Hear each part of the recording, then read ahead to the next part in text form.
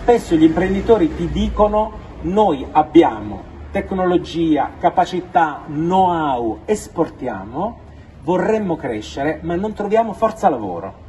Perché il messaggio che, viene, che noi stiamo dando nostro, ai nostri ragazzi è un messaggio sostanzialmente assistenzialista. Cioè quello che si dice non è sosteniamo l'impresa e sosteniamo l'economia reale, creiamo posti di lavoro, si dice alla fine non ti preoccupare, qualcuno si occuperà di te, arriverà un sussidio, un reddito di cittadinanza, un reddito di emergenza, una cassa integrazione, ma questi sono soldi spesi, non sono soldi investiti.